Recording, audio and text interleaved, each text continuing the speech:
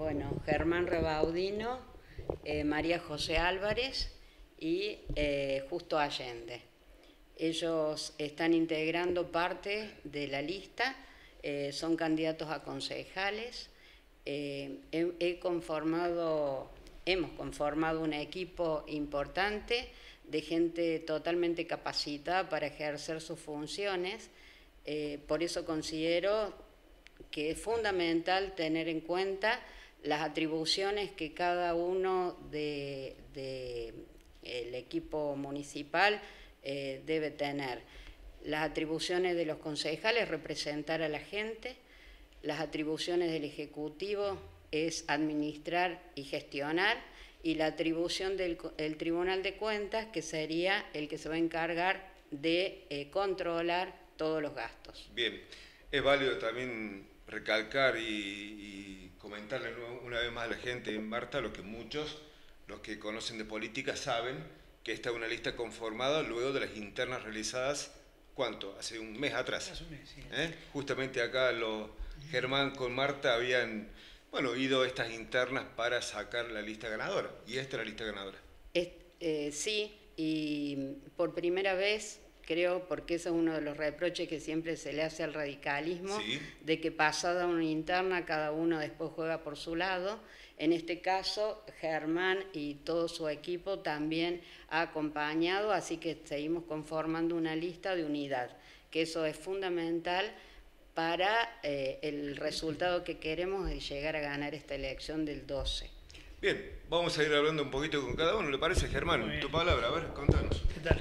Bueno, eh, ya lo estuvo diciendo Marta, nosotros desarrollamos una interna buscando esto que es siempre tan difícil, que es la unidad, mostrar un equipo. Y bueno, pasada la interna lo logramos, estamos trabajando. Eh, yo en otra oportunidad, antes de esa interna, estuve aquí presente. Eh, dejé bien en claro de que el 17 de marzo votábamos al próximo intendente. Y creo que es así. Creo que eh, Marta está preparada, tiene la capacidad, tiene el equipo eh, para ser el próximo intendente de este pueblo. Y bueno, y ahora este, este domingo se va, se va a dar eso. Y bueno, aquí yo estoy respetando a lo que me comprometí, al igual que mi gente.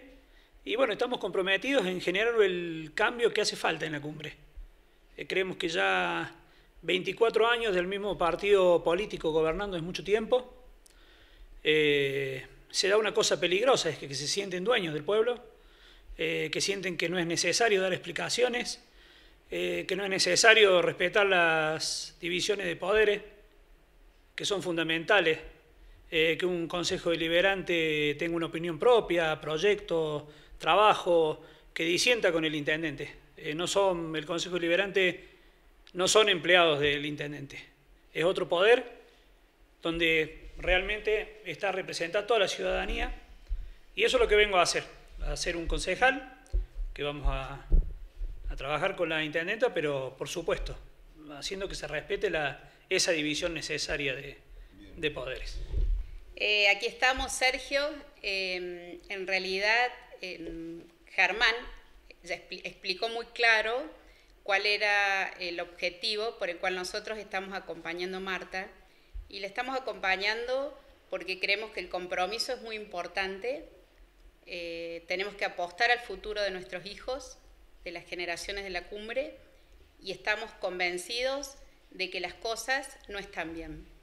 Por eso hemos trabajado arduo por un proyecto que permita tener una cumbre mejor. Y ese proyecto tiene que ver con modificar una serie de cosas, entre ellas las más importantes, tienen que ver con actuar dentro del margen legal en todo aspecto. Recién hablábamos del Consejo Deliberante. Para nosotros el Consejo Deliberante debe respetar la naturaleza de su propia existencia y el Consejo es un órgano autónomo que tiene posibilidad de decidir por sí mismo y no tiene que actuar conforme a lo que define el Ejecutivo.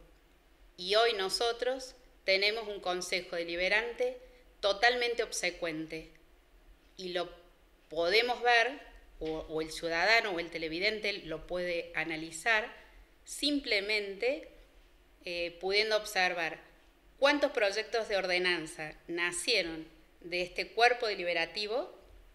Realmente se originaron dentro del cuerpo. Y en las votaciones, ¿cuántas votaciones eh, que se pueden averiguar? Porque todo esto queda en, secretaría. Eh, ¿Cuántas votaciones se hicieron realmente conscientes, pudiendo analizar qué es lo que está bien y qué es lo que está mal? Entonces ese es un punto muy importante, porque la ley es lo que nos va a determinar cómo vamos a caminar en el pueblo. ¿Qué tiene que hacer el Ejecutivo? Cumplir la ley. ¿Quién es el que crea la ley? El Consejo Deliberante. Entonces, las cosas son muy claras. Tenemos un presente y tenemos un pasado. Tenemos un pasado donde tuvimos un intendente que ya tuvo tres periodos, tuvo la posibilidad de no errarle. Eh, y si le erró, ya está. Eh, hay que darle la oportunidad a proyectos nuevos, a personas nuevas. Eh, este intendente también fue concejal y también fue obsecuente con todas las decisiones que tuvo la mayoría y también lo podemos ver, podemos analizar cuál es nuestra historia. Está hablando, perdón, del concejal en el Exactamente. Eh, yo tengo un aprecio muy personal con él como persona, pero me parece que como funcionario ya tuvo la oportunidad, tres periodos como intendente y un periodo como concejal, tuviste toda la posibilidad de desplegar tus conocimientos, tu capacidad, tus promesas, la ejecución de tus promesas, y ya está. Tenemos un presente donde acabamos de decir cuáles son todas las falencias que tiene y podríamos estar horas hablando. Eh, lo que más me importa por mi profesión y por mis convicciones son que nos rija realmente la ley. Y, sobre este tema hay, hay, muchísimo también para hablar. Eh, María José, estuviste hablando de un consejo obsecuente. Sí. En el caso de los concejales radicales actuales, Londero y la otra señora, ¿cómo has visto? Y los concejales radicales, eh, muestras sobradas de defender sus convicciones, el tema es que son minorías. Entonces, eh, expusieron, trataron de hacer entender en infinitas sesiones eh, cómo se respeta la ley desde lo más chico a lo, más grande. Y, en definitiva, acá las ordenanzas vienen del Ejecutivo. Y esto es histórico. En la cumbre somos especiales, esto es histórico. Es historia y es presente. Entonces todo esto hay que cambiarlo. Todo esto hay que cambiarlo porque la posibilidad de desplegar un proyecto para la cumbre que nos sirva realmente para crecer tiene que ver, vuelvo a decirlo por tercera vez, eh, con el respeto a la ley.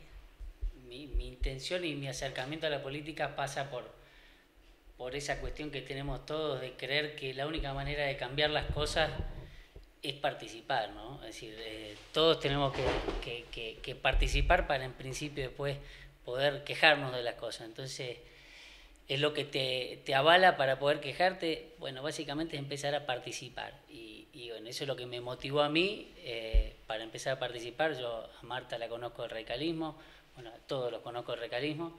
Eh, estoy convencido que hay un equipo increíble de trabajo y que estamos en muy buenas condiciones, que tenemos una muy buena campaña y, bueno, parte de lo que, compete a, lo que es el Consejo hay muchas cosas para cambiar Em, hay cuestiones concretas como por ejemplo no hay una, un compendio de ordenanzas, no hay el acceso a las ordenanzas municipales eh, eh, de difícil acceso para la, para la, comunidad en general, tiene que ir al consejo, pedir. Eh, parte de nuestro proyecto y nuestra propuesta es tratar de facilitar ese acceso a la, a la normativa municipal. Entonces, la idea es hacer una página de internet donde pueda tener cualquier persona la posibilidad de buscar por tema la ordenanza específica, es decir, facilitar lo que tiene que ver con, con el acceso a esa, normativa municipal. Y por otra parte, eh, coincido plenamente con lo que dicen ellos, la, la, necesidad de lo que es la división de poderes. Es decir, un principio de, de un gobierno republicano y representativo es la división de poderes, la independencia. Y naturalmente el Consejo Deliberante como cuerpo legislativo tiene que, su, principal motivación, independientemente de tratar las ordenanzas que vienen motivadas por el Ejecutivo, es proponer las ordenanzas que llevan los propios concejales a tratar en el Consejo. Y eso no se da. En la práctica no se da porque, como dicen ellos, eh, el Consejo ha pasado a ser una escribanía del, gobierno, del Ejecutivo Municipal. Es decir, el, intendente de turno lo que hace es va y hace firmar a sus concejales, lamentablemente, las ordenanzas que necesita de acuerdo a su conveniencia en el momento específico. Entonces, eso es lamentable. eso es lamentable para una democracia en la que deberían funcionar las instituciones como corresponde. Entonces, comparto con ellos que es, eh, elemental el cambio estructural en el Consejo, en la forma de plantearse la, normativa y en la, en la, forma de entender eh, la forma de gobernar de otra manera, respetando los principios constitucionales, tanto nacionales como provinciales. Eh, y esto es concretamente la división de poderes, porque eso hace a la garantía de, que realmente se cumplan el espíritu de las leyes. ¿No? Es el control, el Ejecutivo de alguna manera controla al Legislativo y el, y el Legislativo de alguna manera controla al Ejecutivo. Eh, ese es el sistema de decisión. Nosotros no tenemos un, un, judicial acá concreto, pero sí, por supuesto que tenemos la justicia provincial que también tiene que controlar. Pero lo que sí tenemos en el municipio es un poder ejecutivo y un poder legislativo concreto, que entre ellos tienen que hacer su trabajo de mantener esa independencia para asegurar esa, ese control. ¿no? Así que bueno, eso es fundamental para, para, para nosotros que, que, se dé así con transparencia.